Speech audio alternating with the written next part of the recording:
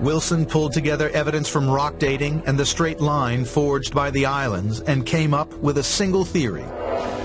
He proposed that Hawaii was created by something called a hotspot, an exceptionally hot region beneath the Earth's crust that was concentrated under Hawaii's Big Island.